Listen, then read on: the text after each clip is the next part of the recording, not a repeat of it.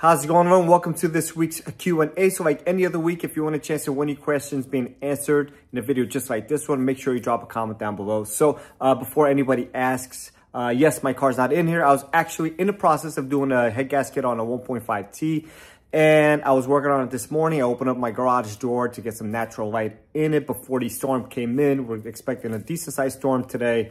Um, and when I went to go close it, the door didn't close, it jammed. So um, I called my local people that, uh, you know, work on these doors or whatnot, and they advised me I had to get the car out of the garage uh, for them to, you know, safely work on it tomorrow. So that's what's happening. Uh, so hopefully by the time you guys watch this video, the door situation will be uh, ready and fixed. Um, so unfortunately, like I said, not only can I have the car in here, I can't work on it outside either because we are expecting a storm and I would have to, uh, you know, walk all my tools out and around the house. So I'm not doing that. Um, luckily, the owner is on vacation and I have the car for at least another uh, couple of uh, days or so. So hopefully everything gets sorted out and whatnot. But uh, that's why my car's not in here. I was actually going to do a small walk around of the job I'm working on. Uh, 10 Accord 1.5T, so uh, head gasket. Um, and just that's what it is. So with that being said, let's go ahead and get started uh, with the first question of the week. And it is, uh, what is the typical uh, valve uh, adjustment or, or, clearance situation uh, that we typically see uh, as these cars age and get older? So typically we, we recommend valve adjustments right around 100,000 miles or so. in this particular case, it was in regards to a K24. Um, and I'll just address it as a whole. So uh, typically what we see is the exhaust valves get tight and the intake valves get loose. Doesn't mean it can't go either way on either situation.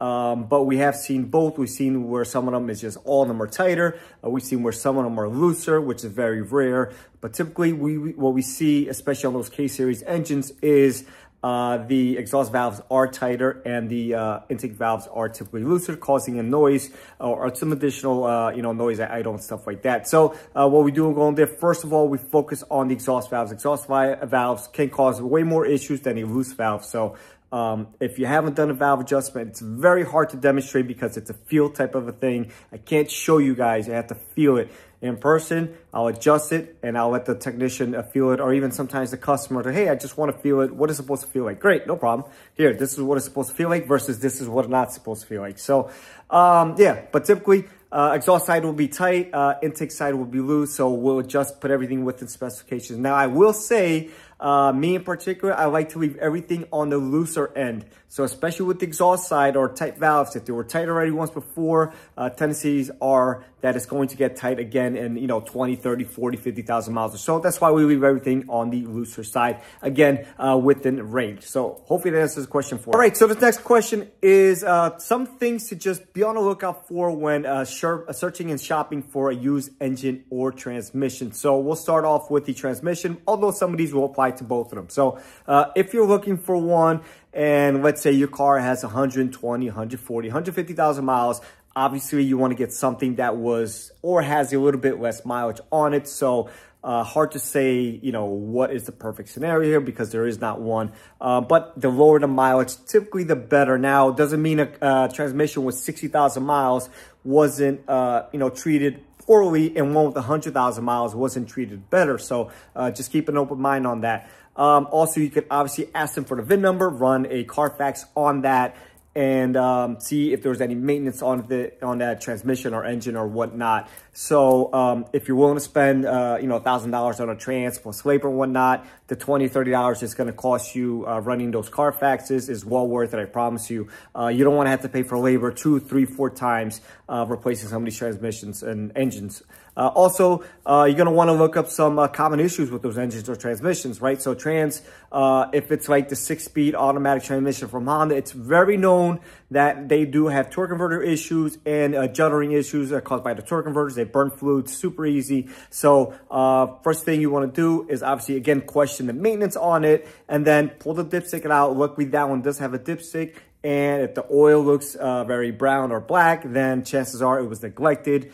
Um, if it looks pinkish reddish, then it should be okay. Now, sometimes these people and places, they do uh, drain the fluids, so uh, just got to be on the lookout for that. Uh, and now just make sure there's nothing physically damaged with either one. So engine or transmission, no connectors are broken, uh, no casings, no leaks, uh, things of that nature. A lot of times they'll power wash them. So uh, really depends. Uh, as far as the engine goes, you're going to take off the oil cap and a lot of times you'll be able to see the valve train, right? So that tells a lot. If it's a goldish, brownish color, that means it was neglected. Uh, if it's nice and silver in there, then that means that engine had oil changes done on time and whatnot. Same thing goes with the dipstick. When you pull out a dipstick and it's, um, you know, goldish, brownish colored, uh, that means that chances are that engine's already burning oil or at minimum had some neglect, which will lead to uh, potentially oil burning situation. So uh, that would be the top two things. Again, use the VIN number, uh, run the oil change, uh, you know, see the history of the oil changes and stuff like that. And you want to make sure it spins nice and freely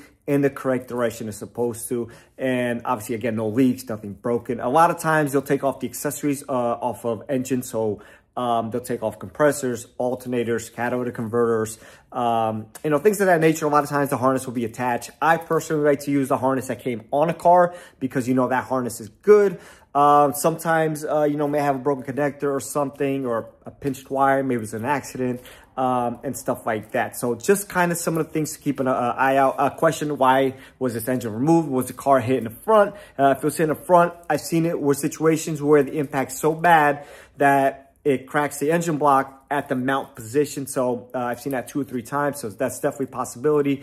Uh, very rare, but it does happen. So uh, just be, you know, uh, alert of what you're buying. Uh, make sure you buy from a reputable source. And if the price is too good to be true, uh, it probably is. So hopefully that answers the question for you. So the next question, what are the benefits of using premium? So 91 or 93 or better uh, here in Jersey, we have 94, so I put 94, the chance I get to on all my vehicles. So, but this question is, what are the benefits of using premium on the uh, hybrid engine, so the Accord, CRV, and the Civic uh, versus uh, 87 or whatnot. So now Honda, um, you know, there's conflict of interest here. They, uh, in the newsletter, originally they said some of the uh, vehicles uh, require premium. Then in the, the book, they'll say 87. Um, so it's uh, very contradicting of itself. It goes to show you that uh, maybe they do want to recommend it, but they know they'll use lose some consumer base by recommending a higher octane fuel uh, because most people buy a Honda because they're going to be affordable to maintain. they're not going to have any issues uh, which, you know, we've seen plenty of recently, unfortunately,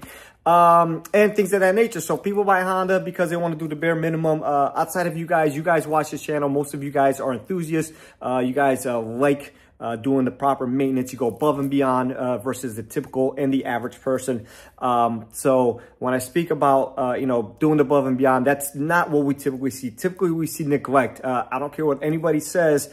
Um, you know, the numbers speak for themselves. When we see these cars come through the shop, um, you know, I don't want to put a number on it, but let's just say 70 or 80 or 90% of them are neglected in one way or another. Now, I personally like to uh, do everything on the earlier side, and most of you guys do just by the conversations we have and some of the cars I've worked on for you guys personally. Um, so again, you guys aren't really the norm, which is fine. I'd rather do something early, and that goes with anything, not with just vehicles, than uh, push to limits. But um, yeah, using premium fuel, in my opinion, is one of those benefits. I think uh, that you're going to have a lot less issues down the road. One of them being this head gasket issue. We're kind of starting to see a, a surgeon. We'll talk about that more in the next question. Uh, and uh, the catalytic converters also that will thank you down the road. Uh, and that comes to uh, misfires and stuff like that, which is causing a uh, multiple of issues with that. So uh, also top tier fuel should, in theory, keep your injectors running a little bit cleaner for a little bit longer. Uh, so just a couple of benefits. Uh, will you see a drastic change in the driving experience? Probably not. But in a long term, uh, 93, 94, 91 will always, always, always be better than a uh, 87 fuel. And I mean, people will argue that, that's fine. I put again, uh, 93 or better in both my vehicles.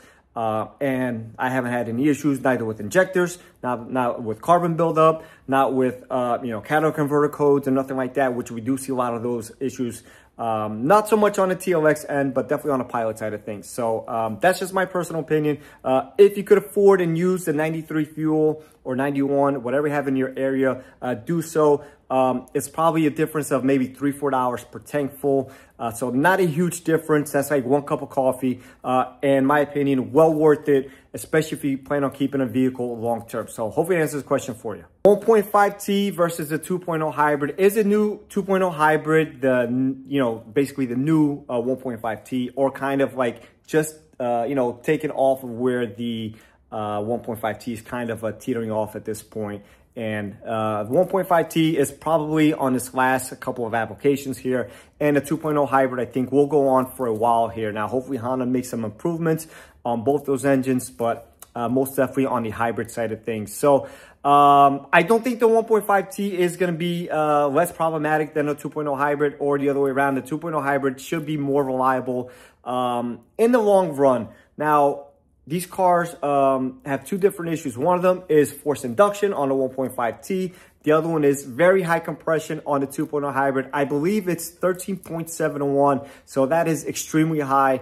Uh, your typical Honda is going to be around the 10s or so. So uh, these are what they used to use in basically race cars, uh, this type of compression, um, high compression all motor build. So uh, for us to see this nowadays in a consumer vehicle, uh, is very eye-opening. And the fact that uh, most consumers are putting 87 in it is a big issue because um, using 91, 93, 94 um, fuel is going to be more resistance to uh, creating uh, detonation, which uh, the detonation is essentially, in my opinion, was uh, one of the things causing the issues on these engines.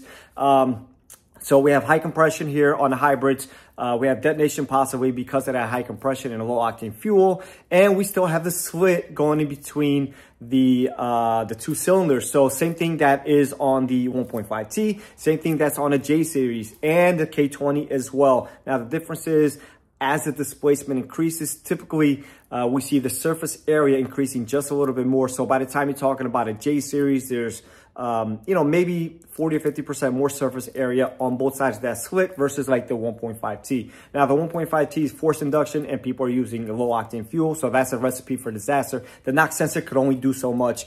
And the same thing goes for the 2.0 hybrid, right? Uh, it's high compression, people using low octane fuel and the knock sensor could only do so much to retard the timing when it needs to uh, at that point.